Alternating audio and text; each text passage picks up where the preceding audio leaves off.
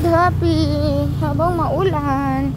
Hindi, hindi naman pwede guys na pag maulan hindi siya ilalabas lalo na si Happy guys is hindi siya nasanay na magwiwi tsaka magpupo sa loob ng bahay.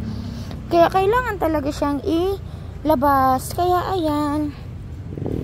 Ako. Maambon-ambon guys. Grabe yung ano dito. Yung langit oh. Yung ilog. Oh, 'di ba? Oh, naku, lumalakas ang ulan, be. Lakas ang ulan, guys. Halika na, be. Uwi na tayo, be. Uwi na. Ayan, nakapupo na siya. Nakawiwi na din naman siya, guys. Halina. Let's go. Mamaya na ulit kasi ang labas niya, guys. Anong oras na? Um, alas 8, no? Kaya hindi siya pwede hindi ilabas ngayon kasi 5, 6, 7, 8, oh. Every 4 hours nilalabas siya.